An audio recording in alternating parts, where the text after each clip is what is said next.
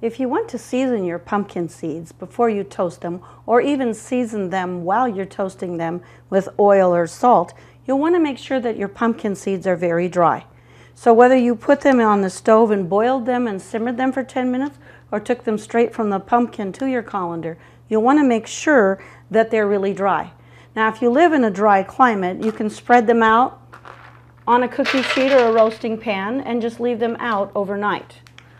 Some people like to put them in a very low oven and dry them out by putting them in the lowest possible oven overnight. If you have a dehydrator, especially if you live in a humid climate, you might want to put them on your dehydrator and follow the directions for your dehydrator for drying your pumpkin seeds.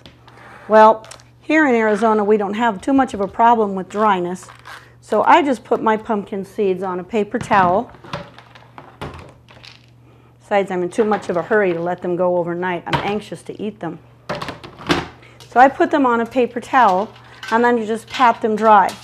I like to put seasoning on mine. Sometimes that seasoning includes some butter and some spices. So you really do want to make sure that your pumpkin seeds are completely and thoroughly dry.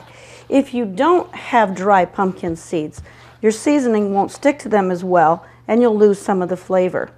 So whether you're patting your pumpkin seeds dry with a paper towel or a, or a thin dish towel, or drying them overnight, putting them in dehydrator, or drying them on the very lowest setting on your oven, make sure your seeds are really dry before you season them. That will give you the very best results for your toasted, roasted, yummy sunflower seeds.